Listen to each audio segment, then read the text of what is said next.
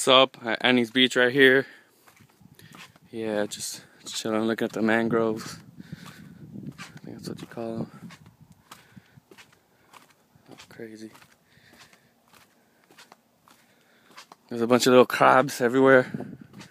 Probably can't see them. No. We're about to look at some of them though.